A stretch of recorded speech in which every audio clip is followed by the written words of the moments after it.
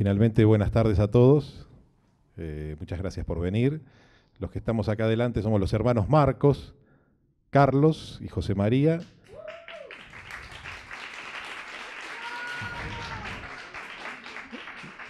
Bueno, gracias.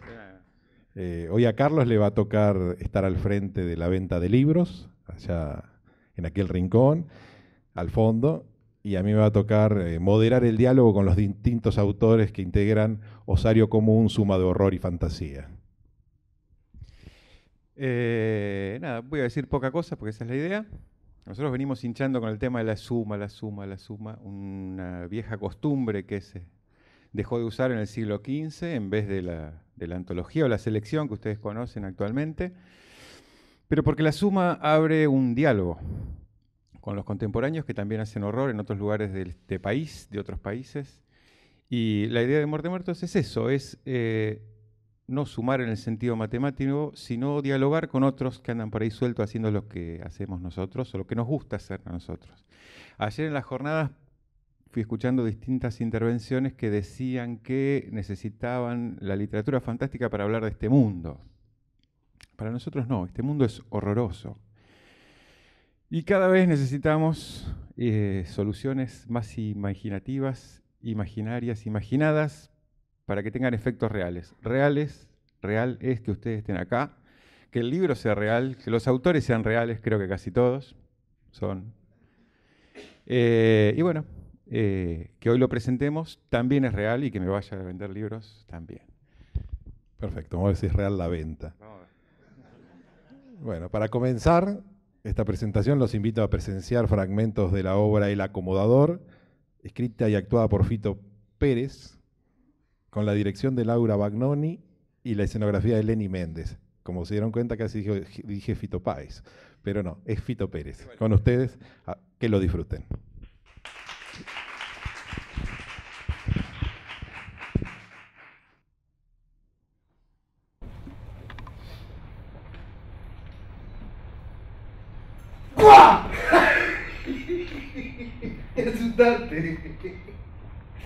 Ah, ¿viste qué feo que es?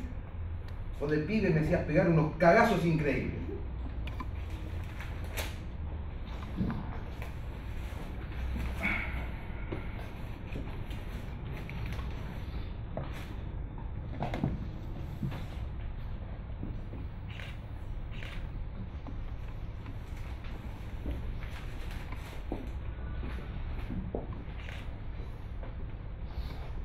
Vos no le temías a la muerte. Por eso solo moriste una vez. Mm. Acá hay uno internacional. Manolo, no nos esperes levantado. Tú a tu aire. Ya iremos llegando. ¿Sabes por qué digo esto? Porque me piden a veces que haga una placa con alguna frase y me ganan unos mangos aparte. Mira, hay tanto miedo y culpa con este tema. Con cualquier cosa te puedes hacer unos pesos. Una vez leí que en un cementerio de París hay una tumba con una estatua apostada. Porque parece que le pidieron al escultor que lo haga el tipo tal cual quedó cuando le metieron un tiro. Mira, la estatua está, está así. Yo no sé si por la posición o qué, pero parece que tenía un bulto importante. Bueno, algún piola se le ocurrió decir que si le pasas la mano por ahí, te da fertilidad. La estatua es de bronce, está toda verde. Menos el bulto que lo tiene brilloso porque todo se lo toca. Parece que tuviera todo afuera, ¿vale? Acá pasan cada cosa increíble. Mira. La vez pasada cayó el padre de Beto, ¿te acordás? El que tenía los taxis. Se un quilombo terrible en la sala B. Eran como 20, se cagaron a trompada. Parece que el viejo tenía otra familia. Siempre llegaba cansado a la casa.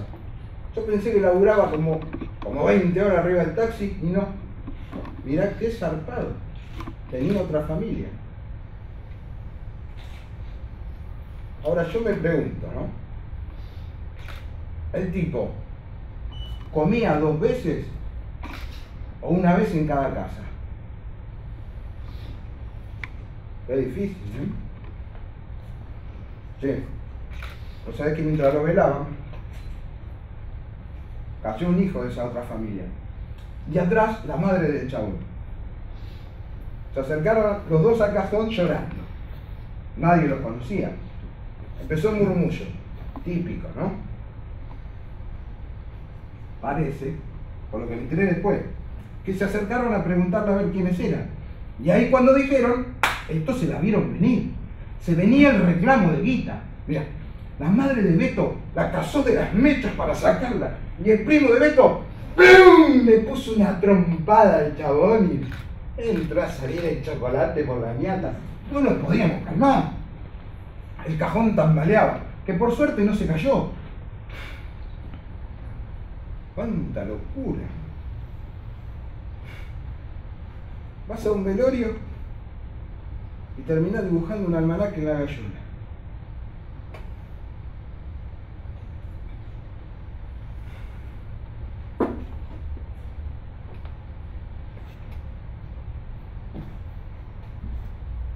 Nunca pensé que te iba a encontrar acá. Te crucé un par de veces por la calle, pero no te quise llamar para no darte explicaciones. Ya sé cuánto me querés, pero mejor así. No me gusta molestar.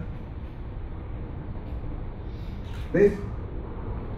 A lo mejor por eso trabajo en esto. Bueno, no me voy a poner a hacer terapia ahora, ni mucho menos con vos. Pero la verdad es que yo pienso, ¿no?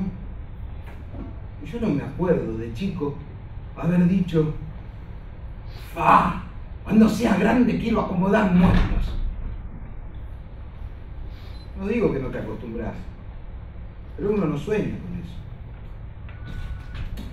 Igual no me quejo. ¿eh? Yo cuando los veo a ustedes todos los días digo, ¿ves? ¿Para qué te vas a hacer problema? Después de todo, el peón y el rey terminan en la misma caja. Yo sé que este laburo alguien lo tiene que hacer. Es como los basureros, los que limpian. Pero uno nunca piensa que va a ser. Por lo menos se sueña con otras cosas. Igual no es que estoy todo el día pensando en la muerte. ¿eh? Pero hay días, viste, que me gustaría tanto trabajar en una terapia intensiva, ponerle con enfermos terminales. Pero porque ahí hay esperanza, ¿ves? Acá no hay, acá no hay nada. Ya está. Ni la parca está, ¿para qué? Y ya se lo llevó. Si somos un envase, como dicen, ni vos estás y yo estoy hablando al pedo. Ah, y a tu envase me parece que lo van a quemar.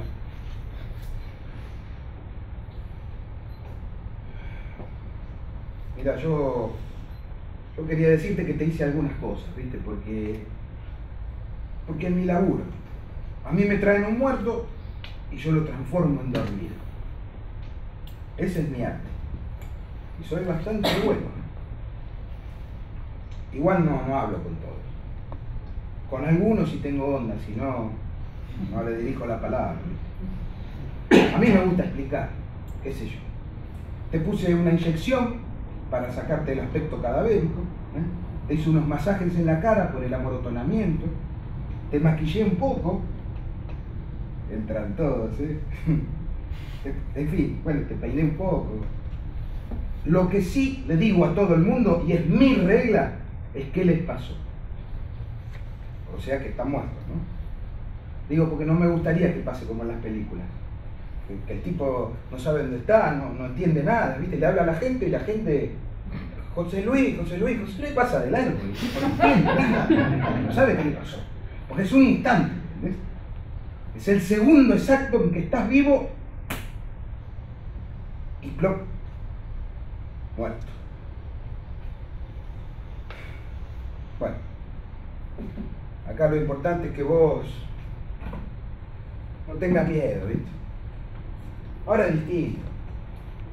Antes con el asunto ese de la catalepsia, todos tenían un cagazo espantoso. Si había gente que se hacía fabricar un cajón con un timbre, o, se ataban una, una, piola al dedo con una campana, por si se le daba alguno por volver. Te digo más, en Alemania, hasta que se inventó el estetoscopio para determinar la muerte, los colocaban en unos lugares hermosos, ¿viste? Todo adornado con flores, todo prolijo, hasta que se pudrían que era la única forma de determinar que estaban muertos. Ahora no. Ahora distinto. Yo te digo la verdad, desde que laburo acá, no vi volver a nadie. ¿eh?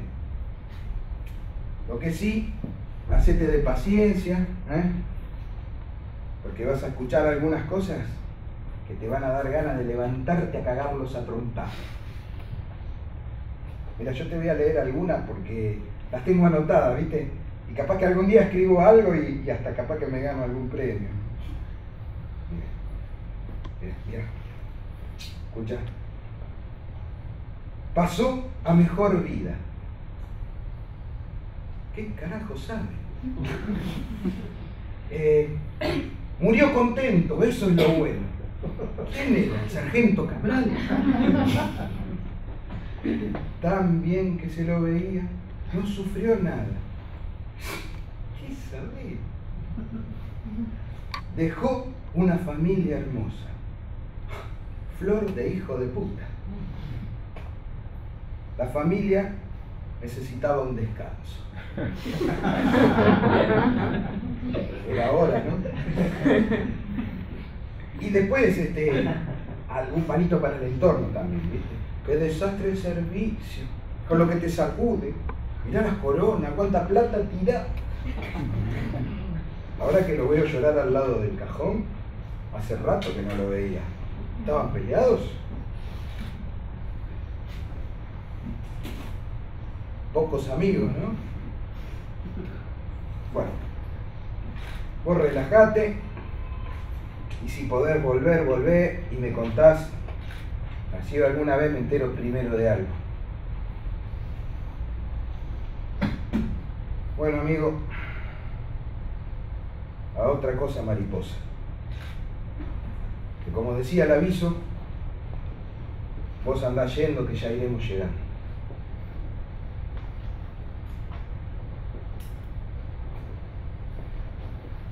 Chao, loco. Mucha suerte.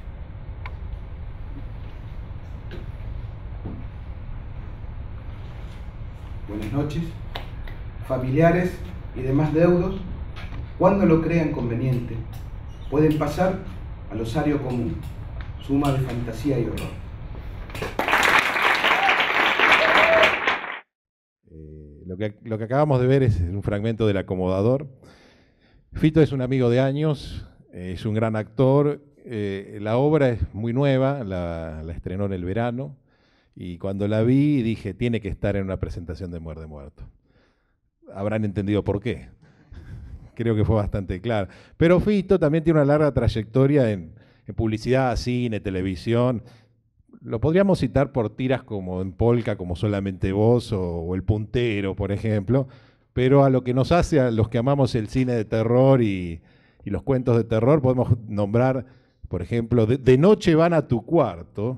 Ahí actuó es de, Sebastián de Caro. Aparecidos, ahí por supuesto atendía una morgue, en una película de Paco Cabezas, una producción española. Después estuvo en Lo Siniestro de Sergio Musarek. Y en la, en la TV, para no, no, perder un poco la, la, línea, estuvo en Mujeres Asesinas.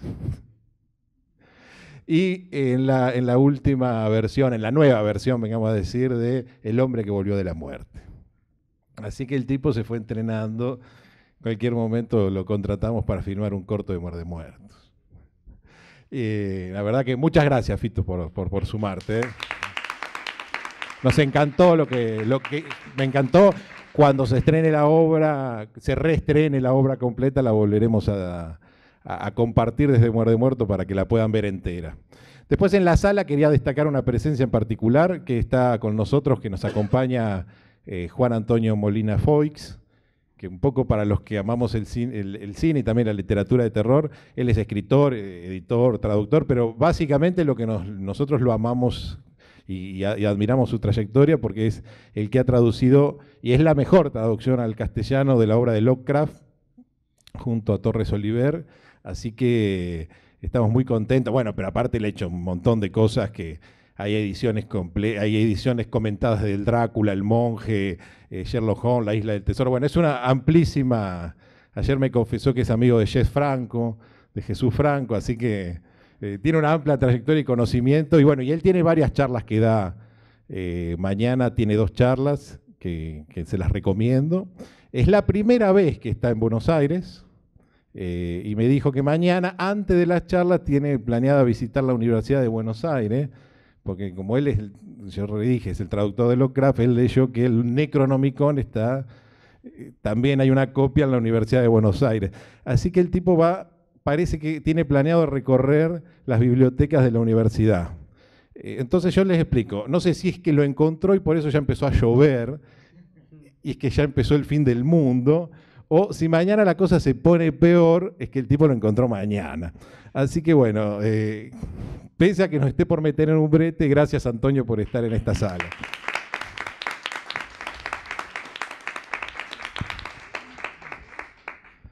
Bueno, por las dudas, porque no sepamos quién está en esta mesa, está Claudia Cortalesi, autora de Osario Común, Pablo Schuff, autor de Osario Común, Pablo Tolosa, otro de los autores, Alejandra Sina, Patricio Chaija, el compilador, autor del prólogo y notas. Y bueno, mi nombre es José María Marcos, como dije al principio. Antes de empezar con la de seguir con esta presentación, que hacer una, pequeña mención a Walter Ianelli. Eh, son, la, suma son 17 autores. Eh, uno de los rasgos de la, suma fue convocar autores contemporáneos eh, y que estuviesen vivos. Walter falleció hace muy poquito, nos dejó. Él tiene una obra muy interesante, su cuento es Metano. entonces esta presentación un poco se la estamos también haciendo en homenaje a él eh, y en su memoria, y es un autor que seguimos admirando y bueno, de algún modo, gracias a su literatura, hoy está presente con nosotros. Eh, básicamente yo voy a decir, dos o tres cosas de Muerde Muerto, después voy a pasar a Patricio para que hable como compilador y después le vamos a, preguntar a los autores que hablen. Le vamos a preguntar, trajimos un múltiple choice para, para hacerle un par de preguntas, algunas muy difíciles. Eh, vamos a ver si, qué, saben de todo esto. Pero básicamente, Muerde Muertos es una, editorial de autores contemporáneos que nació como reivindicación de, dos, corrientes, pero eh, como decía Horacio González en la apertura de, de este encuentro, cuando uno habla de literatura fantástica, corre el riesgo de hablar de la literatura en general. Nosotros cuando hablamos del género de terror hablamos de la literatura en general pero nació como reivindicación de dos corrientes, básicamente muerde muertos, muerde por lo erótico y muertos por el terror. Ahí tuvimos, cuando veíamos el acomodador, veíamos que por momentos eso del bulto, que no entendí qué era, eh, se iba para otro lado más que lo terrorífico.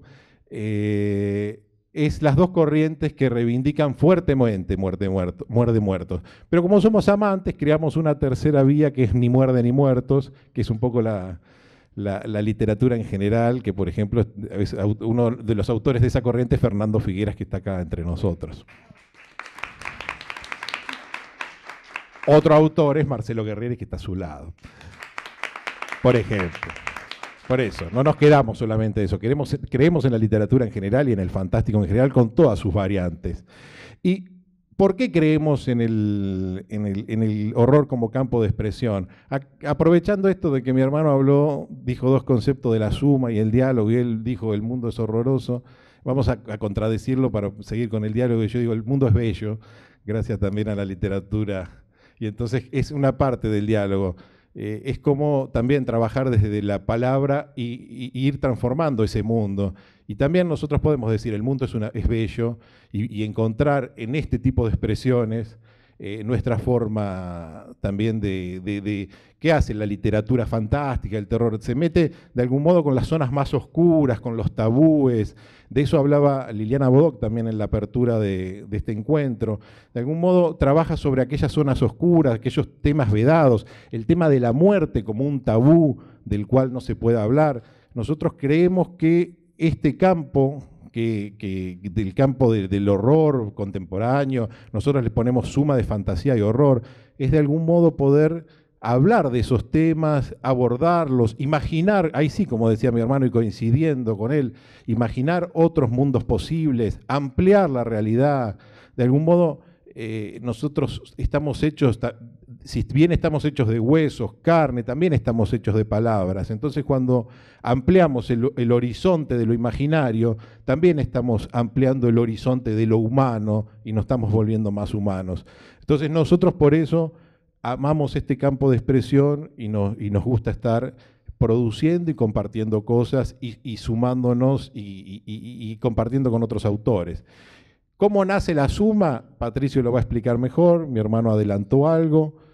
Dos conceptos que yo no más puedo dejar. A mí, nosotros originalmente no sabíamos si hacer una antología o no y quisimos hacer algo distinto y salió el concepto de la suma como diálogo y nos parecía que no nos queríamos quedar solamente en antologar y decir estos son eh, los que tienen que leer. Nosotros creemos que son autores que tienen una obra que merecen ser leída y son también referentes de distintas estéticas.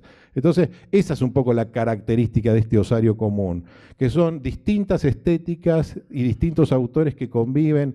Después cada uno puede ampliar, pero hay gente que se ha formado con Alberto Laiseca, como es mi caso, o el de Alejandra Sina. Eh, hay gente que se ha formado con Marcelo Di Marco, como es el caso de Claudia. Eh, hay gente como Pablo que se ha formado solitariamente o viene más de la extracción del cine. Eh, Pablo Tolosa, que él viene del sur, no sé cómo se han sido tus maestros, pero los desconozco, pero también tiene una estética muy poética, distinta, y eso es lo que parece que nos enriquece. Patricio es, un autotitulado eh, discípulo de Stephen King, de Bahía Blanca. Entonces son todas estéticas que conviven y dialogan y se enriquecen también. Eso es lo que contiene la suma y Patricio lo va a ampliar mejor. Eh, así que bueno, ahora lo voy a dejar con Patricio, que es el, cómo conocimos a Patricio. En esto que decimos del diálogo, cuando nosotros arrancamos la, un poco la, la editorial Muerde Muertos, una de las, de las de las metas que nos pusimos, no solamente editar libros, sino tener diálogo con los lectores, participar de cuanto encuentro fuera posible. Eh, hoy nos hace, cuando nosotros arrancamos no existía el encuentro de literatura fantástica, hoy es para nosotros esto también parte de, lo que nosotros hemos propuesto y que hoy ya haya concretado. Iba, en este, este llegaba el momento de, hablar bien de Damián, pero se me fue, eh, que es el que fue el que lo organizó, pero lo voy a decir a Damián Blas Vives. Hablo, entonces voy a aprovechar para hablar mal. Eh, pero bueno, cuando esté lo voy a repetir y ustedes digan, háganse los sorprendidos y lo aplauden. Pero Damián Blas Vives, él fue un poco el impulsor de este encuentro y es parte también de nuestra idea de que tenemos de la literatura. Con Patricio en esto de compartir, eh, cuando nosotros arrancamos, él leyó un reportaje mío en la revista Insomnia y se comunicó, dijo que bueno lo que están haciendo. Entonces, a partir de eso leyó lo que nosotros veníamos haciendo, me invitó a Bahía Blanca a dar unas charlas y en, una, y en un momento él me dice, ¿por qué no hacen una antología? Y yo le dije, nunca vamos a hacer una antología, le dije yo. Tenemos palabras muy firmes. Y automáticamente dije, no, mi mente hizo, no se va a llamar antología. En ese momento no sabía cómo se iba a llamar. Y le digo, ¿por qué no la haces vos? Y Patricio en ese momento creo que se tiró al vacío y dijo, sí, la hago. Después, ahora les pueden comentar la otra parte. Pero a mí me pasaba, Patricio me llevó porque él en sus clases en vez de trabajar distintos textos que le sugieren dentro del programa, da autores contemporáneos dedicados al, campo del horror y la fantasía. Entonces yo en ese momento dije, es la persona adecuada. Si se la pasa leyendo cuentos de terror, y, él me dijo, ¿y cómo la hago? Bueno, elegí los que más te gustaron, le dije yo. Era una cosa amplísima, pero bueno, así fue como lo conocimos y cómo surgió esta idea. Y así que, bueno, ahora vamos a ver si Patricio dice o contradice todo esto. Eh, así que, bueno, Patricio Chaija es autor del Cazador de Mariposas, el libro de Fede, Pili, Nuestra Señora de Hiroshima. Pili, Nuestra Señora de Hiroshima se puede conseguir. Y bueno, los dejo con él y que, nos, que va a ampliar estos conceptos. Muchas gracias, José. ¿Qué tal? Yo les voy a contar un poco brevemente cómo surgió esto de la antología, ampliando un poco lo que él contaba, eh, y cómo llegamos a esto. Va, antología que no es antología, me va a retar, esta suma con doble M, con la doble M de Muerde Muertos. Eh, la idea de, de, hacer un libro de, cuentos de terror eh, me venía rondando hace tiempo, nunca pensé estar involucrado en eso, sino es como que notaba que había un, vacío en cuanto a, una editorial que, fuera netamente de horror, bueno, en este caso eh, horror, erótico y después ampliado a, toda la literatura, pero con una colección muy fuerte y muy seria de, de literatura de horror contemporánea. Y me pasó una vez que leí un cuento que hoy día está acá en el libro, que se llama Afuera sigue cayendo ceniza, es de un autor bayense, Emiliano Vuela, leí en una revista bayense de escasísima tirada, me fanaticé con el texto, es un cuento hermosísimo, como todos los que componen el... ¿Qué les voy a decir yo? A mí me encantan los cuentos, son muy, muy, muy buenos. Cuando leí ese cuento, eh, yo pensé, este texto acá se está perdiendo, un montón de lectores, y un montón de lectores se están perdiendo de conocer este cuento, eh, este gran cuento de Emiliano Vuela. Entonces dije, estaría bueno que que forme parte de un volumen de relatos. Un poco ahí eh, no está Emiliano Vuela presente, así que lo que les digo es verdad, no, lo digo para quedar bien, sino que eh, se me despertó esas ganas de, ver ese texto en un volumen que llegue a la gente. pero me ha pasado con otros textos. Hoy Ricardo Giorno no está acá, pero cuando leí eh, en una revista también virtual su cuento Quemar a Madre hace cuatro años ya, Resulta que también me encantó ese, texto, quería saber más de ese escritor, quería leer más textos de ese escritor y dije, no sé, como que me llamaba mucho la atención. Y tiempo después conocí a José María, la editorial, eh, y empezó este diálogo y, entonces yo, ingenuamente, cuando tuve un poco de confianza, le dije, ¿por qué no hacen ustedes una antología de cuentos de terror? Para que la haga él. Yo solo soy un yo soy docente de literatura y no, sabía ni cómo arrancar en, esto. Así que esto fue, creo que de manera virtual fue este diálogo. Entonces eh, él me dijo, no me convence la idea, pero el día que nos veamos personalmente lo, discutimos. Tiempo después vino Bahía Blanca y se copó con la idea, se copó, pero me lo dijo diez minutos antes de que saliera su micro hacia Buenos Aires. Y me dice, vamos a hacer esa antología pero, eh, pero hace la voz. Yo en un segundo ahí dudé y enseguida le dije, sí. Y al, segundo siguiente pensé, ¿en qué me estoy metiendo? Porque realmente no, me sentía capacitado para hacerla, no sabía cómo empezar. Pero en ese segundo que dudé pensé, se me está dando una oportunidad hermosa, así que no la pienso desaprovechar. Así que le dije que sí, él se subió a su micro, volvió a Buenos Aires, yo me subí a mi auto, llegué a casa y lo primero que hice fue ir a mi habitación y mirar mi biblioteca. Y empezar a mirar ahí qué libros, qué textos había. Fue el primer lugar donde saqué algunos cuentos. Pensé, bueno, eh, quiero eh, autores que me hayan gustado. Y después empecé a ampliar el, campo, hice un trabajo de campo. Entonces empecé a ver ahí esto de en distintos blogs, eh, amigos que me iban recomendando lecturas hasta que di con estas, para mí, estas 17 joyas, son hermosísimos textos. Ahora vamos a escuchar a, los, a los, escritores, que son las, las estrellas de, de, este show. Todos queremos escuchar sus palabras. Y, para mí fue muy fácil, no, no fue un, trabajo muy complicado porque cada texto eh, fue como una joya que brillaba y que, que decía, bueno, que yo pensé que merecía estar en, esta antología, que no es una antología, yo sigo con la palabra, en esta suma. Em, pensé en autores eh, actuales, en, autores eh, que trabajaran, desde, que perfilaran el terror de distintos ángulos. Como lector, soy un lector muy ecléctico, entonces personalmente no creo que haya una, una manera de hacer literatura y creo que eso un poco lo, enriqueció al conjunto, porque van a encontrar muchas maneras de narrar. ¿sí? No creo que, haya una sola manera de contar una buena historia y estos escritores nos, lo demuestran con sus textos. Son ficciones bastante fuertes, eh, osadas, eh, sutiles, eh, asquerosas, repugnantes, hermosísimos, va. O sea, son cosas muy, muy lindas. Y, así surgió, de a poco fui leyendo, cada tanto eh, nos comunicamos con José, íbamos viendo cómo iba creciendo, hasta que tuvimos un corpus y dijimos, bueno, esto, esto es lo que, lo que queremos eh, mostrar. Y no sé si me estoy olvidando de algo, si no sé. Eh, después si se te ocurre alguna pregunta, pero básicamente fue eso mi trabajo fue muy mínimo y muy sencillo porque, les digo, estos textos realmente se, sostienen eh, por sí solos, se pueden enfrentar a cualquier lector de los más exigentes y salen muy bien posicionados. Así que por mi parte no tengo mucho más para decir, más, más que esto, que fue un placer leerlos. Se los quiero agradecer a los cuatro presentes y a los trece restantes. Eh, ya se los he dicho incontables veces. Eh, no los conocía, la mayoría no los conocía. En realidad, de ellos cuatro no los conocía, recién hoy los, estoy conociendo personalmente.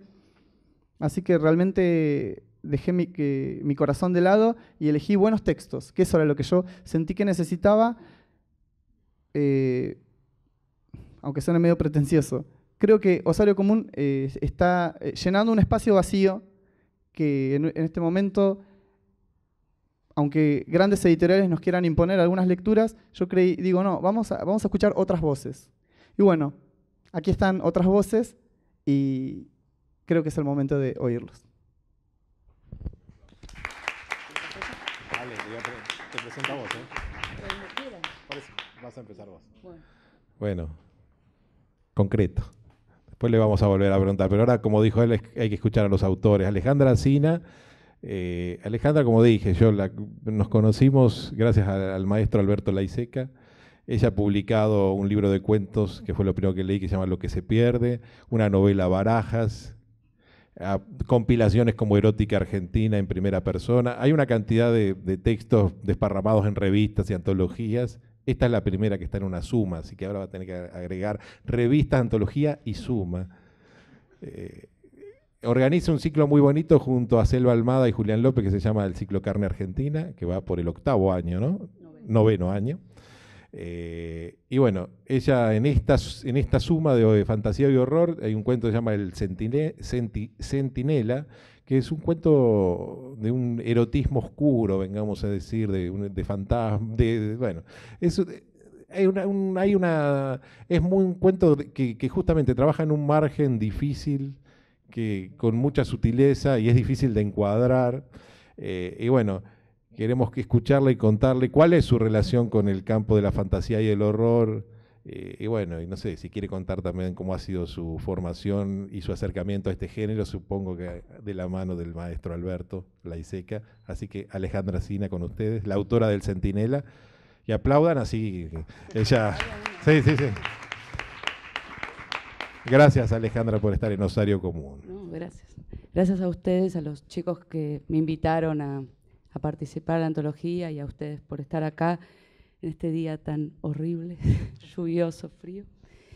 Eh, a ver, la, pregunta es como cuál es mi relación con... Con el, campo de la fantasía y el horror. Amplia.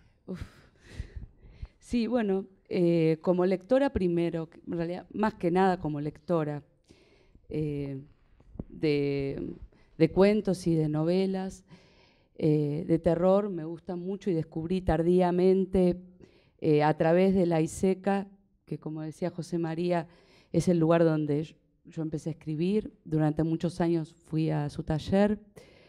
y la ISECA es fanático de Stephen King, especialmente algunas obras, pero hablaba mucho en sus talleres de King. Y resultó que también tenía unos varios compañeros fanáticos de Stephen King, así que yo conocí eh, la literatura de King a partir de, del taller. Y un poco de lo que era el género de terror que la verdad que no, no lo había, no había frecuentado. No sé, mis amigos en la adolescencia no leían terror, en mi casa no había eh, novelas de terror, no veíamos películas de terror, así que todo eso lo hice de grande. Eh, debuté de grande, digamos, con el género.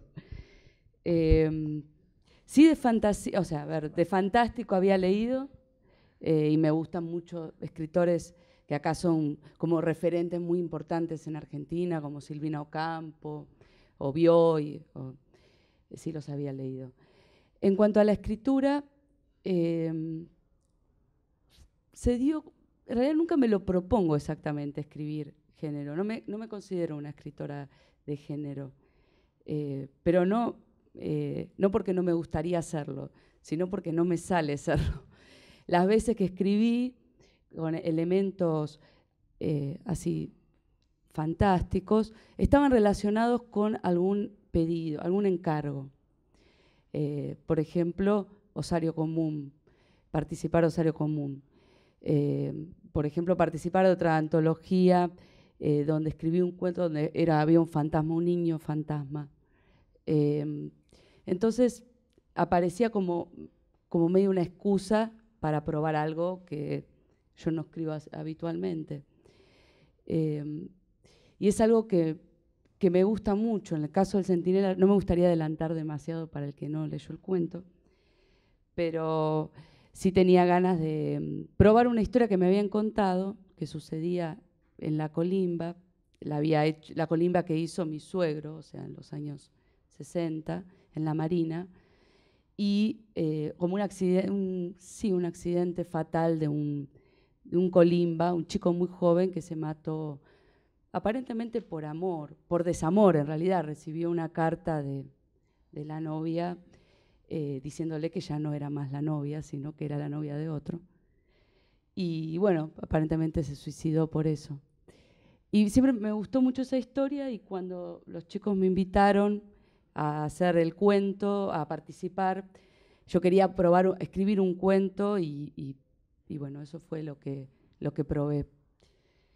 Eh, no, está bien. Pero aparte, yo ahora vamos a preguntar algo más, pero yo voy a contar dos cositas más de Alejandra, porque Alejandra, cuando yo cuando arrancamos con la editorial, que ya está desde el comienzo, fue la idea presentar algunos títulos y uno de ellos era uno de cuentos de terror.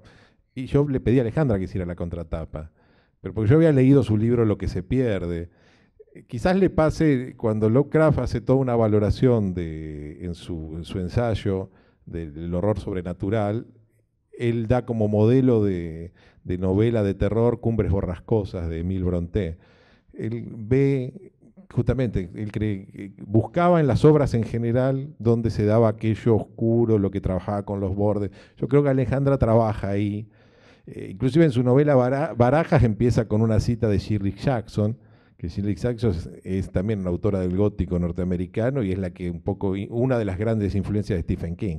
Entonces, Alejandra tiene una gran presencia del oscuro, eh, pero bueno, eh, a veces creo que es involuntariamente, pero yo creo que tenés una gran, estás dentro de una gran, tradición de lo gótico y por eso nos gustaba que estuvieras presente, eh, porque justamente a veces se asocia lo gótico con, elementos muy muy contundentes y a veces lo gótico es la persistencia del pasado en nuestro, en nuestro presente. Esa es la clave del gótico. No es el monstruo, las cadenas, que, un fantasma con cadenas. El gótico es la, persistencia del pasado en el presente. Eh, así que bueno, e, en eso podés decir que tiene un elemento que traza tu literatura. Sí, de acá en adelante voy a decir que escribo gótico, seguro. Bueno, un poco. Bueno, pero es la característica del gótico. Es una, una de las variantes de. Acá Molina Foy nos puede decir que sí o no. Sí, dice que sí, no importa. Así que, eh, por eso. Así que esa es nuestra, nuestra idea y, estamos. Yo me siento muy honrada. Aparte, algo que me gusta mucho de este libro, que creo que quedó sugerido, pero eh, no sé si explícito, es que es una suma eh, federal, algo que no suele ocurrir mucho en, los libros de compilaciones, donde los, porteños tenemos más ventaja, yo soy porteña y vivo acá, y siempre aparecen más ¿no? en todas las compilaciones, aunque dice que son antologías argentinas, pero lo cierto es que después hay motivos para que en el interior nos miren mal, digamos, porque no suelen ser antologías federales ¿no? o compilaciones. Y bueno, y acá creo que el trabajo que hizo Patricio, eh, muy destacable, es que aparecen, más bien somos la minoría acá los porteños en esta compilación. Y, y a mí me permitió leer y, creo, y a ustedes les va a permitir leer, bueno, escritores realmente que no, yo no conocía, escritoras y escritores que viven en otras ciudades y no trascienden esos, o las ciudades o las regiones. Y bueno, y Osario Común lo trajo acá a Buenos Aires, que me parece bárbaro. Gracias, Alejandra. Después vamos a abrir al público para... Y es verdad esto que de lo federal, ahora vamos a, a, presentar a Pablo Tolosa, pero también una de las cosas que charlamos con Patricio fue eso, cuando yo dije, los que más te gustaron, y no te preocupes si vienen lejos, si algunos no van a poder venir a la presentación, porque esas son dificultades. Pero la idea era hacer, encontrar esos textos. Inclusive también era, no importaba si estaban publicados en un libro, en un blog, en un fanzine. Lo importante es que los textos se, sostuvieran por sí mismos. Es un caso, eh, Pablo Tolosa sí publicó un libro que se llama Malditos Animales, pero es un libro que, es más, un libro que eligió entre otros jurados Ana María Ayúa, y Leopoldo Brizuelas, pero salió por el fondo de, eh, editorial Río Negro, Río Negrino. Eh, y claro, es un texto que no circuló en Capital, pero por suerte llegó a manos de Patricio. Eh, y es un texto que nos encanta. Y de esos eligió un, un, cuento que se llama El que habita en las arenas, que ese sí podría ser un relato muy locreano, que bueno, él puede ampliar conceptos, que es una especie de un hombre que sigue la pista de un ser que vive, pero en el sur patagónico. Así que bueno, eh, nos alegra que Pablo, que se vino de Río Negro para, esta, para este festival, para este encuentro de literatura fantástica, eh, nos cuente un poco eh, lo que fue escribir ese libro, Malditos Animales, y bueno, y qué significa para la inclusión dentro de esta suma. Bueno, sí, bueno, efectivamente yo soy de, de Viedma, y mm, el libro eh, salió seleccionado, digamos, en, una convocatoria que hizo el fondo editorial. Eh, yo, al, revés de ella, digamos, de chico siempre leí Edgar Allan Poe y gracias a un, profesor en la secundaria hice el salto también hacia Lovecraft, que con los nombres de los libros ya me, me atrapaba, el que acecha en el umbral, y el, nombre del cuento, el que habita en las arenas, digamos, está, en realidad primero puse el nombre porque me gustaba la, idea esa de él que habita diciendo, diciendo y no diciendo, digamos, de, qué estás hablando. Y, el propio cuento le contaba a Patricio que es, yo tengo una, colección de Edgar Allan Poe, una colección de libros editados en los 60 que tiene un, análisis antes de los cuentos. Y hay uno de los cuentos que creo que es Ligeia, que el, que analiza dice que el, que el cuento ese tiene el, final al principio del cuento. Y este cuento lo que intenté hacer fue también eso. Bueno, por suerte, dentro del, círculo de, escritores de allá de Río Negro, en, este tema, digamos, lo que es terror, y eso soy el único. la temática es muy distinta, muy eh, en, en, otras cosas está, más hacia la gauchesca, digamos, por ese tipo de cosas. Entonces, que aparezca Patricio con, la propuesta de, incluirme ahí, yo le contaba a él que siempre, pensé que era un chiste cuando recibí el correo, porque pensé que era alguno de mis amigos diciéndome, ¿querés que te incluya en una colección de cuentas? no, lo busqué y existía, ya, ya era una persona, lo cual era un avance. Y bueno, estar hoy acá, yo le decía, para mí es lo más fantástico, le pasó a mi literatura, estar en la Biblioteca Nacional hablando de malditos animales, no, no era una posibilidad. Ah. sí, sí. Bueno, sí, este es el libro. Eh, bueno, y nada, yo lo único que tengo son palabras de agradecimiento porque realmente para, para mí eh, era, no, era una posibilidad esta, digamos, de que, estar acá hablando hoy eh, con ellos. Además, conocí a un montón de autores que estaban en el mismo tema. Ya les digo, yo allá en, temáticamente, digamos, estoy solo. O sea que vos sos el que habita en las arenas. Sí. y me encontraron, así que. Este, así que bueno, para mí es como algo que, cierra bien, digamos, en mi historia cierra bien, porque aparte justo elige el, cuento con, con la mención casi explícita a Lovecraft y el, homenaje personal a, Edgar Allan Poe. Y yo, mm, lo que pasó también, algo que yo conocía la ISECA en, los 90 en Tandil a través de, un, de otro escritor que era Jorge Di Paola, uno de los fundadores de la revista El Porteño. Eh, yo lo conocía allá en Tandil y él, digamos, si bien empezamos como taller literario, la primera noche terminó porque hubo mucho vino. Entonces todos los demás se fueron del taller literario y quedamos después como amigos, más como taller literario. En una de esas, eh, la ISECA lo fue a visitar y tuve la oportunidad de conocerlo allá. Así que a partir de ahí entré también a los textos de la ISECA y formó parte también, no, tan cercano como ustedes, pero eh, sí empecé a leerlo desde que lo, lo conocí a través de la revista Cerdos y Peces también, que le entrevistaron un par de veces. Y, bueno, y después, sobre todo, mi, maestro, es, considero yo, es, es Lovecraft, a través de las lecturas y, bueno, y todo lo que anda ahí alrededor. Y bueno, y otra vez, gracias a, Patricio y a los Muerde Muertos eh, por hacer posible esto, ¿no? Gracias por estar en esta antología, en esta suma.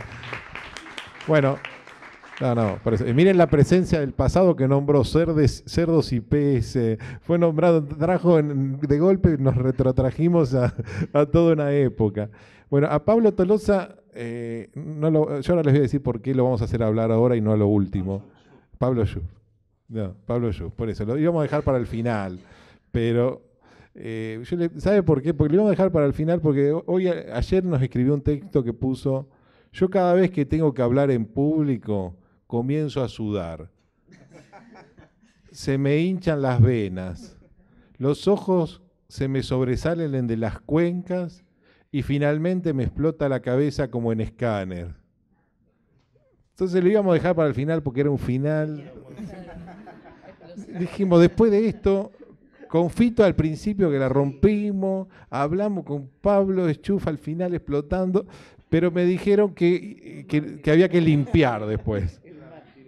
Había que limpiar, nos quedábamos con un autor menos. Era, era, era muy improductivo. Eh, así que bueno, lo vamos a hacer hablar ante último. Pablo, estamos muy contentos que esté, escribió un cuento que se llama La habitación de mamá. Eh, hay ahí también mucho de la presencia del gótico, que es un escritor que busca reconciliarse con ese pasado que late en esa casa, él ahora nos va a ampliar. Eh, y Pablo tiene mucha, mucho del cine, porque también trabaja como guionista, y entonces, bueno, él tiene como otro abordaje de lo que es el, eh, el, género de terror y estas corrientes, así que nos gustaría escuchar cómo nace este relato y bueno, cómo se vincula él con este campo de expresión. Eh, sí, bueno, espero que no me explote la cabeza. Eh, sí, yo en lo literario me siento siempre un poco extranjero porque nunca hice talleres literarios. Este, y tampoco sé hasta qué punto, habría que definir qué es lo literario o no, ¿no? Pero sí me siento más como armador de historias que como algo que tiene que ver más con el guion, con la estructura, con contar una historia, con el desarrollo dramático, digamos. Y quizás no tanto con el lenguaje o el juego con las palabras o este tipo de cosas. Y el cuento nació en realidad, fue un intento de novela, eh, una novela corta tipo novel, que cuando entré, cuando estuvimos, no me acuerdo cómo entramos en contacto con Patricio, pero yo le envié el texto ese y él estaba buscando cosas para la antología y me sugirió que, que podrían dar, pero era muy largo. Entonces, en base a esa misma idea de esa novela corta, eh, hice un, resumen, no, no hice un resumen, escribí otro cuento, pero con la misma idea. Y ese fue este que se llama La habitación de mamá. Y creo, yo estoy contento. Y estoy contento que me hayan invitado y, y me den esta oportunidad. Bueno, un aplauso. no explotó la cabeza, está está- está- estamos bajo control. Podemos seguir en paz, pero está muy bueno el cuento y también como... Muchas gracias por, por Gracias. sumarte a este osario común. Bueno, gracias a ustedes. Bueno, y ahora vamos a presentar a la otra dama de la noche, Claudia Cortalesi. Eh, muy bien. Claudia, por eso yo decía que la idea de esta suma también era, su- era sumar distintos grupos. Eh, Claudia fundó junto a Marcelo Di Marco y Nomi Pendix, ¿así se pronuncia? ¿Está bien? Me, me complican esos apellidos. Bueno, Nomi. Eh, la Abadía de Carfax, que es un grupo literario, eh, Marcelo Di Marco, no sé, ¿qué cantidad de años que hace tallerista? No sé, más de 20, fácil. Sí, más. Es escritor de, de- de- de también que, gusta transitar un poco estas oscuras praderas y bueno, su una de sus alumnas que ahora es, también es tallerista y cofundaron este grupo. Y ellos han sacado, sí, antologías, van por la tercera, eh, próximamente. Casi cuarta, casi Por eso, próximamente punto- la cuarta. Eh, y ellos tienen el grupo, van rotando los autores y siempre antologa uno distinto. Eh, Claudia antologó la tercera. Eh, la cuarta la va a antologar eh, Ricardo Giorno, que es otro de los autores de Osario Común que no pudo estar, lamentablemente, que escribió otro, otro cuentazo que se llama Quemar a Madre. Es como dice Patricio, los 17 cuentos son cuentazos. Y acá Claudia tiene una novela que se llama La- Una simple palabra. Y bueno, y también ha publicado muchos cuentos en, en antologías y esta es su primer suma. Y acá está con un cuento que se llama Abrirse Paso. Ahora le vamos a preguntar cómo se le ocurrió, pero es un cuento un poco, no sé por qué, pero vendría a ser como que la mayoría coincidió que es uno de los más estremecedores. Eh, es una especie, yo no quiero adelantar mucho, pero bueno, eh, hay, hay- hay- una embarazada, hay ácido, una especie de, no sé, bueno, imagínense, embarazada, ácido una- un hombre con ganas de asesinar. Prostitución, no, no, bueno. Es, es la fórmula sexo, droga y rock and roll, pero eh, reescrita. Así que bueno, Claudia, gracias por estar acá y contanos un poco cómo surgió esto y bueno, también la experiencia de ser una de las sumadas. Bueno, muchas gracias a ustedes primero por convocarme. Para mí es un gran honor estar en la editorial Muerde Muertos y en esta antología que, con tan grandes autores. Eh, bueno, yo les voy a contar primero, antes de hablar del cuento, la, vida que tuvo el cuento después de que lo escribí, porque yo este cuento lo escribí hace unos cuantos años, está en la revista, en Axon digital, creo que en el 2008, una cosa así. Y antes de eso, yo lo estuve mandando a concursos, porque es un cuento al que yo quiero mucho, más allá de cómo son los personajes y lo que les pasa. Y claro, no ganaba ningún concurso. Y después con el tiempo me di cuenta que era lógico que no ganara ningún concurso porque los, eh, los jurados se- seguramente se angustiaban y después les daría vergüenza mostrarlo, porque No lo podíamos premiar. ¿Cómo vamos a decir que este cuento... Bueno, y eh, yo creo que es, es mi mejor cuento. Ojalá pueda escribir otro como ese. Y bueno, y también lo había mandado para Carfax, tampoco quedó en Carfax. Así que acá encontró un lugar donde lo editaron en papel, así que yo estoy muy feliz de que sea justamente este cuento. Yo le había mandado a Patricio dos cuentos. Y cuando dijo queda abrirse paso, yo dije, wow, por fin, qué bueno.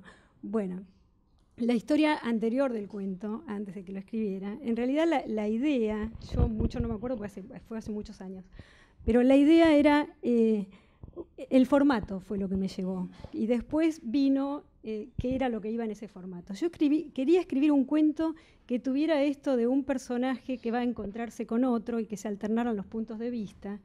Y bueno, empieza con, con el personaje este de la embarazada y después el fotógrafo y la embarazada y el fotógrafo.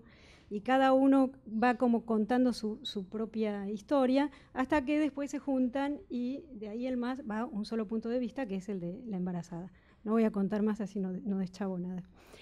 Eh, lo que me pasó fue que este formato me llevó a, este cuento, porque en realidad yo no me propongo escribir esto, es lo que me sale natural, esto de, lo de terror, me sale...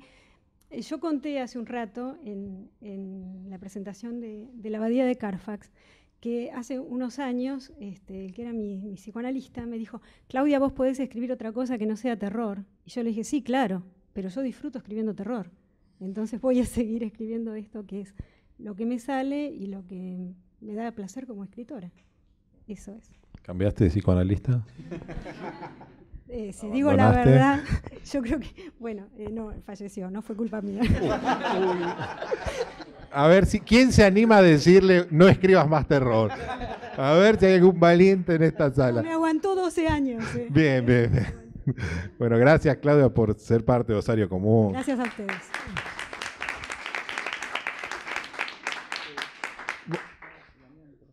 Bueno, ahora vamos a, bueno, ahora vamos a abrir un espacio para preguntas. Aparte aprovechen porque realmente son autores que tienen mucho para decir eh, en muchos aspectos. Son autores valiosísimos. Nosotros estamos felices poder haberlos reunido en este libro. Eh, pero antes que, ya que volvió Damián, ahora sí le vamos a hacer un agradecimiento a, a Damián Blas Vives,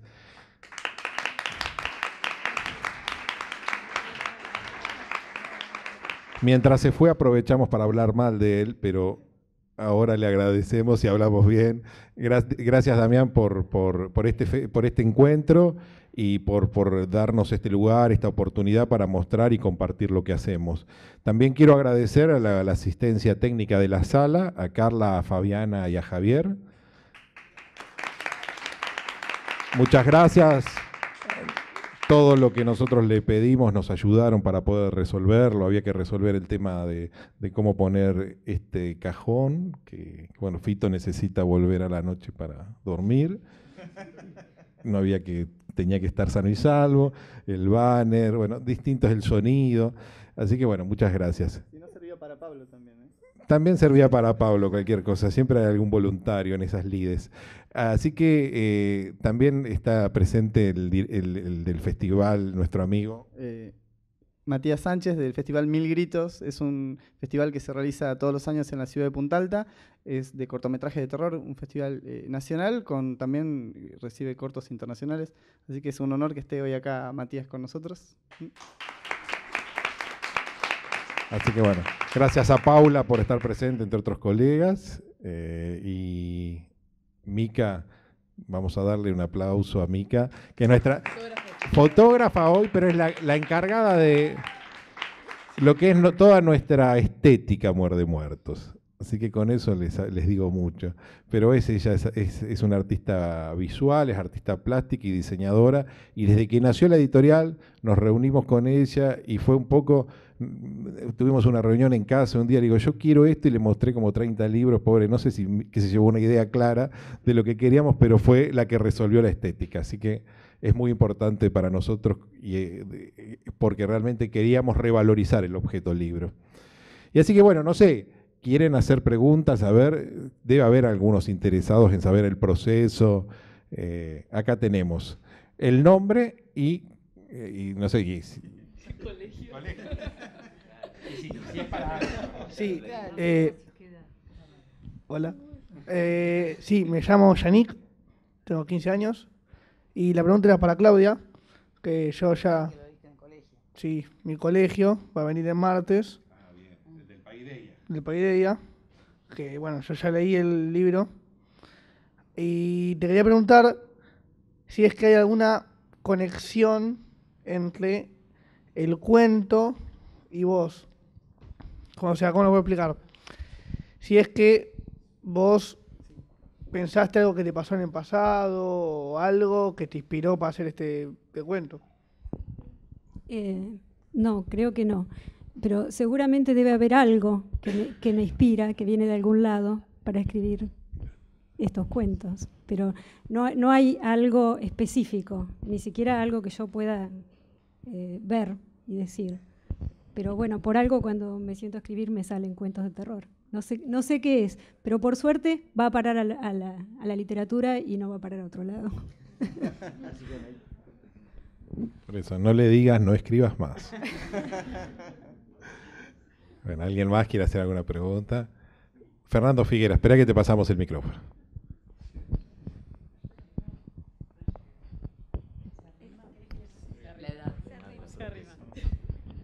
Sí, quería que nos cuente el señor Marcos sobre su cuento, porque hay un cuento también de José María Marcos y, y no contó cómo nació el cuento, cómo lo escribió y demás. Y cómo lo eligió Patricio, porque es una presión muy fuerte, me imagino, ¿no?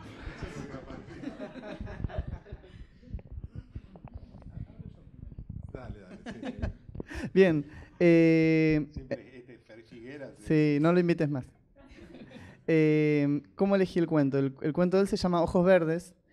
Cuando estoy leyendo textos para Osario Común, estoy leyendo varios eh, cuentos de, de José María y me pareció que el cuento Ojos Verdes es diferente a lo que él viene trabajando. A mí me gusta mucho eh, cómo escribe él, eh, sus libros publicados. Y, y este cuento es un tanto diferente en cómo está contado y en la, en, básicamente en este cuento hay sexo. Me encanta el sexo y bueno, eh, decidí poner el, el cuento aquí. No, no. y- buscaba esa declaración. Sí. y quedó filmado. Sí, ya está. No, bueno. Em, básicamente no, es un, un muy buen cuento, eh, muy bien contado, bastante horroroso. Y, y me estremeció mucho cuando lo leí.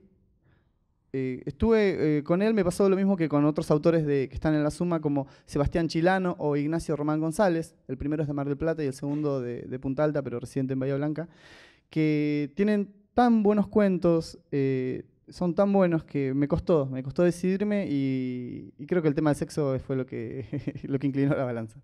Así que ahora vamos a preguntarle a él, bueno, ¿por qué escribió ese cuento tan retorcido? Sí, sí, era, el único cuento que tenía sexo, así que yo había un montón de otros y efectivamente, ya entendí. El próximo, sin sexo no va.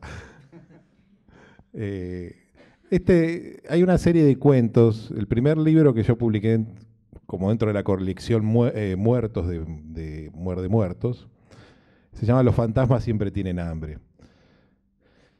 Pero para ti hay- eh, los fantasmas tienen, siempre tienen hambre, tiene como una especie de lado B que se llama Desatormentándonos, como posible nombre, que fue un libro de cuentos que quedó finalista en un concurso de, terror en España. Yo, fueron dos libros que son paralelos. La diferencia es que yo siento por ahí el que los lee, los fantasmas creo que está mejor concebido. El otro es divertido porque es más bizarro. Y efectivamente los jurados habrán entendido lo mismo, porque yo mandé los dos, tanto los fantasmas como desatormentándonos, me, me- me premiaron desatormentándonos. Acá Patricio volvió a lo más bizarro, a- también a seleccionar. Y este cuento en particular trabaja una especie de viejo achacoso que fue un Don Juan y, está como en un solar que también, un solar, una especie de... a mí me gustaba trabajar con el, la vejez este, de este ex Don Juan con el deterioro y el avance implacable de la naturaleza. Eh, uno trata de sacar las raíces, que no lluevan los techos, y siempre la naturaleza avanza sobre los seres humanos y sobre los cuerpos, inevitablemente. Entonces yo tra- trataba de trabajar en ese doble sentido, en el deterioro de la persona, en el avance de la naturaleza y en esa asimilación entre ambos elementos. Después le agregué, justamente porque son eh, estaba hablando de que son un poco más, mm, por eso, más bizarros, ¿no? Una- la especie, un, un tópico del género de terror que son las chicas del lago, pongámosle. Chicas que son, suelen ser peligrosas. Las chicas que, una chica que sale, que está buena, y sale del lago desnuda, eh, Claro, sí, pero bueno, acá no, es como sirena, pero bueno, podría ser una especie de sirena también, no, lo había pensado, pero son como chicas peligrosas que salen y por supuesto seductoras y todo lo demás. Tengan cuidado cuando anden cerca de, del el río de la Plata, no sé lo que puede salir. Porque el río de la Plata está podrido. Este, este- yo lo imaginé algo más idílico. Y bueno, el tema es que le cae una mujer en esas si- situaciones cuando él es Don Juan. Y el cuento arranca cuando ya han pasado 20 años de eso. Y, acá también, acá viene la otra parte de el elemento de lo gótico, que sí yo trabajé a conciencia, es como ese hecho de 20 años tiene consecuencias en sus 20 años futuros. Eh, entonces, bueno, quienes lo leyeron saben cómo sigue después eh, y que es un cuento, vamos a decirlo finamente, tiene mucha oralidad. Eh, tiene mucha oralidad. Porque hay mucho diálogo. Si alguien entendió otra cosa. Entonces, bueno, eh, ese fue un poco. Figuera, ¿está respondido? Bueno, perfecto. ¿Alguien quiere hacer alguna pregunta más?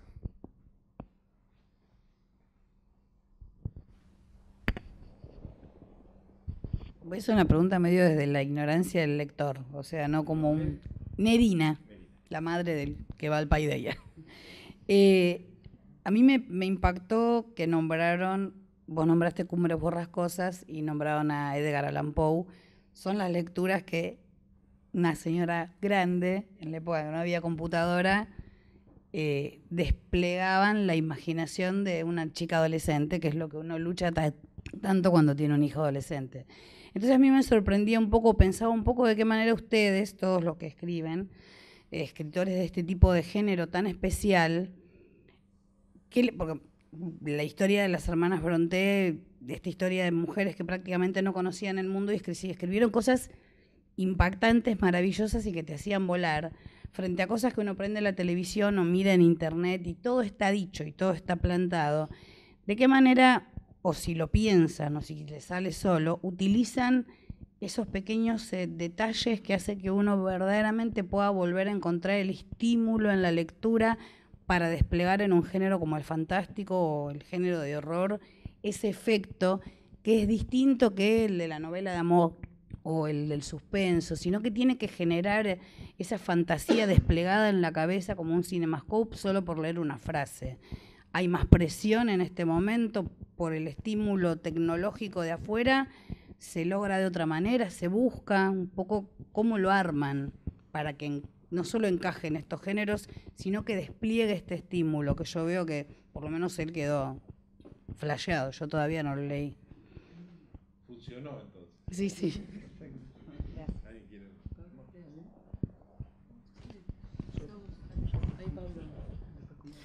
Bueno, difícil la pregunta, pero eh, en mi caso, por lo menos, la, búsqueda fue natural. Eh, yo le decía que mm, eh, muchos de los títulos llegué nada más que a través del nombre. Me gustaba que, algo se llama El que acecha en el umbral y tenía que saber de, de qué se trataba. Y a partir de eso, digamos, los caminos se abren porque cuando lo lees, sabés que tenés que seguir por ese lado. Y, y a partir de eso después hay algo natural, me parece, como estará el tipo que lee o que le gusta más lo policial o lo- los dramas, eh, a- por lo menos en, en lo personal eh, siempre fui para ese lado, ¿no es cierto?, para el, para el terror. Y en- incluso en el cine y en, en general buscar ese, ese tipo de, de estímulo, como decís vos. Y me parece que tiene que ver con algo propio, ¿no es cierto?, que ya está adentro, de alguna forma. A, ver si, Yo te quería decir otra cosa desde, desde, desde, desde el otro lado, desde mi, postura de coordinadora de taller. Eh, esto que vos decís de que el, el autor actual está compitiendo todo el tiempo con la tecnología. Entonces, eso, eso es una cosa que tenemos que tener en cuenta que, qué sé yo, cuando Lord Byron escribió El Don Juan, es una novela preciosa, pero que por ahí tenés 50 páginas de que la novela se fue para otro lado y era otro lector, otro lector que no tenía otras cosas. Lo que tenemos que hacer ahora es buscar las imágenes y buscar que el lector no se aburra, porque cuando el lector se aburre, tiene la tele, la computadora, y lo peor es el teléfono, que hoy en día tenemos el teléfono, que es la peor competencia del libro, porque el teléfono siempre está al lado y por ahí este, llama a alguien, entra un mensaje y bueno, competimos contra eso. Por eso yo creo que la, escritura actual, eh, del, escritor actual, no solo el fantástico, sino cualquier tipo de, literatura, eh, tiene que buscar este, mucho, mucho más fuerte atrapar al lector. No sé. Sí. Eh, yo quiero decir una cosa. Yo soy profesor de literatura. También doy clases a, chicos de, secundaria. Y mm, bueno, hay varias cosas para decir, como coincido en todo lo que han dicho ellos, pero a mí la literatura de horror me, gustó mucho en la adolescencia, o sea, todavía. y, me parece hermosísima porque eh, frente a algunos, algún otro tipo de relato, en la literatura fantástica en general, esto por ahí alguno me lo va a discutir y me va a decir que en muchos géneros pasa, pero, o sea, no hay límites, que no haya límites, que esté todo permitido, es lo que más me atrae, porque como decía Pablo, eh, los lectores somos personas curiosas. La curiosidad es lo que no- no- nos acerca tanto ¿no? a los textos y a otros tipos de, de artes o a otros tipos de, de historias que no pueden no estar en la literatura, sino en el cine o en, otras plataformas y en otros formatos. Y, y el horror, eh, desconozco si hay algo que viene en uno, ¿no? que, que a uno lo motiva, es como esa cuestión de los gustos, que nadie... eh, o sea, sobre gustos no hay nada escrito, dicen. Ya con eso Figueras va a escribir algo con lo que acabo de decir. Eh, no hay nada escrito, quiere decir, o sea, todos tenemos gustos diferentes, a todos nos motivan otras cosas, pero el horror, eh, desconozco por qué, nos, nos, nos mueve, nos conmueve y nos sigue, eh, a todos nos sigue gustando. Las películas que más recaudan son las de terror siempre. Eso es, eh, lo que estoy diciendo no, no es ningún disparate. Hay- nos gusta horrorizarnos, nos gusta sentir miedo, adrenalina, algunos de, dis- de distinta manera, y en el relato de horror creo que es eh, siempre está punzando la curiosidad del lector, ¿no? Porque el personaje en cualquier otro relato va a abrir la puerta y más o menos uno tiene un, como un catálogo de, de posibilidades. En cambio, en el, en el relato de horror, vos, uno primero tendría que preguntarse, el lector está diciendo, por favor, no abras esa puerta, no sé qué puede ocurrir, ¿no? Y eso, eso eh, y al mismo tiempo uno cierra un ojo y abre el otro diciendo, a ver qué hay detrás de esa puerta, ¿no? Esa curiosidad, ese morbo eh, propio del lector de, de horror, que está en cualquier eh, lector de cualquier tipo de literatura, pero en el horror en particular, es algo que no se puede controlar.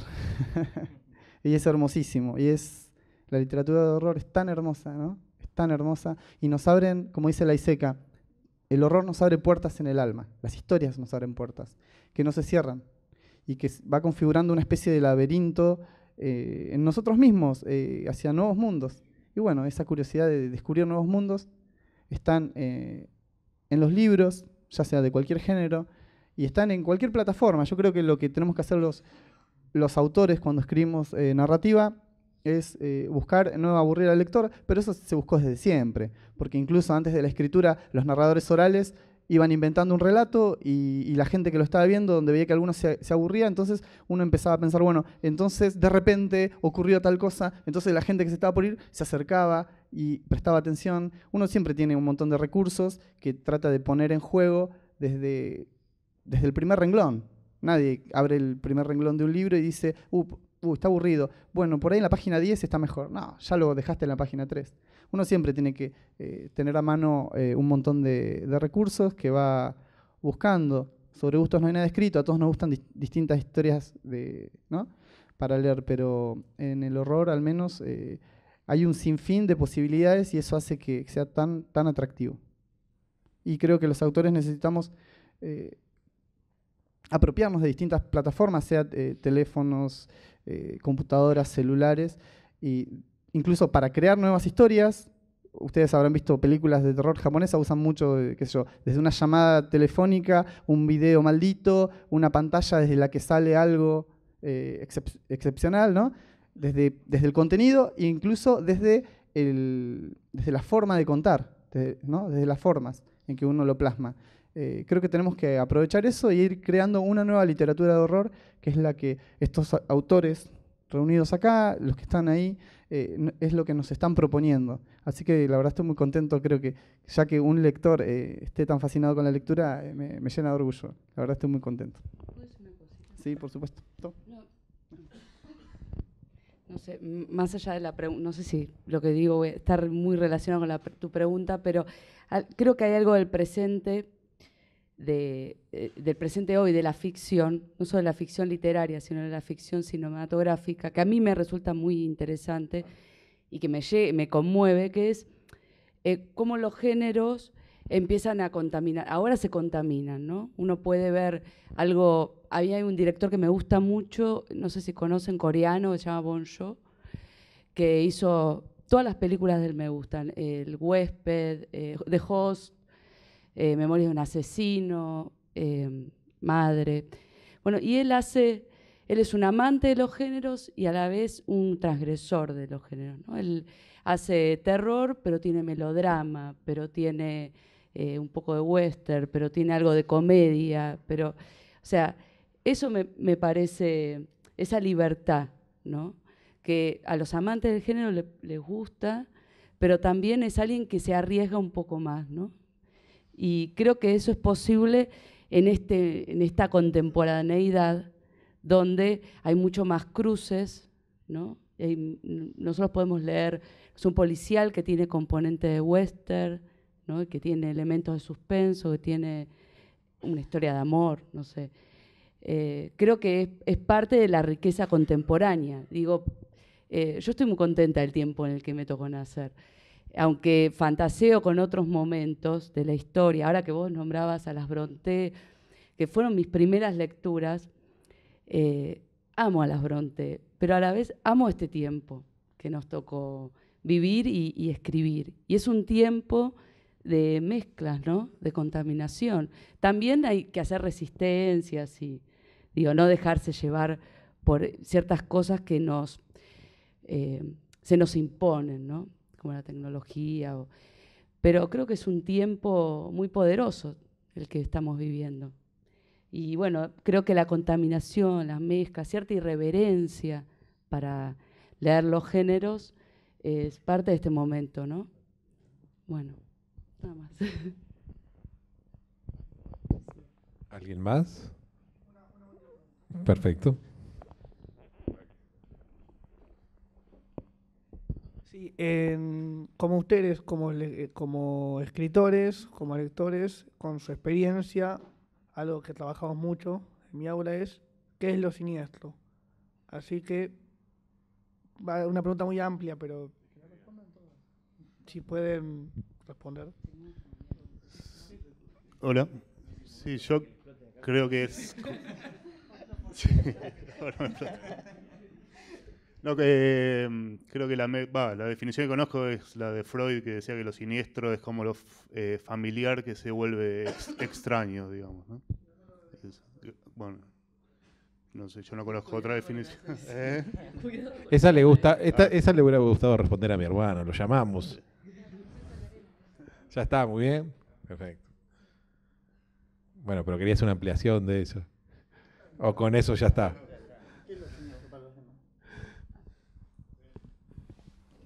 Sí, yo digo que es la, la definición que yo conozco es la misma, con el cuento de la arena de... No me, no me sale ahora. De Hoffman. Ahí está. No. Sí, bueno, parece que vamos todos para ese lado. Sí. Claro. Yo recién, cuando preguntaban, cuando pedían preguntas, le iba a preguntar a Alejandra, por ejemplo, su definición de lo siniestro. Eh, porque es muy particular, no se escucha con. Sí, se, se escucha, se escucha. Nos dijo el que organizaba el festival que habláramos Estaría bueno que dijeran cada uno de ustedes eh, su definición de lo siniestro. Por ejemplo, en la obra de Alejandra Sina tiene un, tiene un siniestro muy particular. Su, su libro de cuentos anterior a la novela eh, tiene una carga muy oscura dentro, dentro de los parámetros cotidianos que es muy interesante. Eh, nada, me imagino que también la pregunta de él era así como más de índole personal. Se llama Sigmund Freud. No. Su nombre es Sigmund Freud. Eh, sí, eh, está relacionado, por supuesto, con esa definición. Yo creo que ese lugar familiar, por ejemplo, la casa, por ejemplo, los padres, por ejemplo, la relación de pareja, que supuestamente por conocido debería ser un lugar seguro. Eh, de repente eh, puede transformarse no solo en un lugar no seguro, sino amenazador, ¿no? Eh, en mi caso, algo que me gusta, el libro de cuentos que menciona Damián ya tiene varios años también, es un libro donde hay muchos personajes masculinos, muchos narradores hombres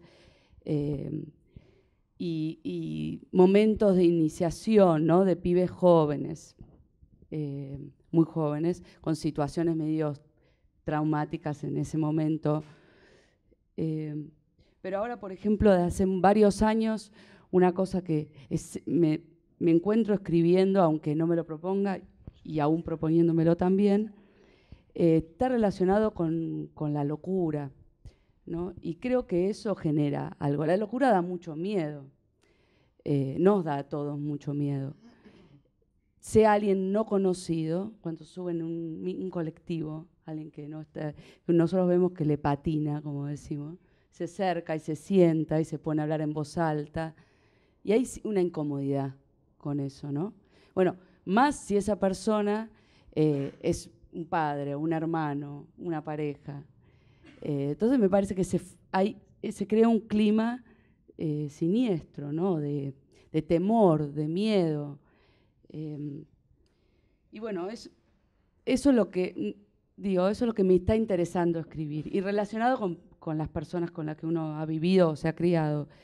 Y después la ISECA tiene, lo ha dicho muchas veces y a mí me parece fabuloso. Después se lo escuché también en algún reportaje a Lucrecia Martel decir algo parecido, que es, hay que, ella usaba este verbo, decía, hay que siniestrear a los chicos, ¿no? Hay que mostrarles lo oscuro a los pibes, porque es una forma de vacunarlos, porque lo oscuro del mundo es peor que el cuento de terror, es mucho peor. Entonces es una vacuna el terror. Y creo que eso es, es- lo comparto completamente, que el arte eh, y la literatura como parte del arte se meta con eso es una forma de vacunarnos contra un poco, ¿no? Igual cuando lo vivimos es oscuro y es siniestro lo real, pero creo que trabajarlo dentro de, lo artístico hace que, no sé, lo ente- entendamos algo de eso, eh, nos dé recursos para,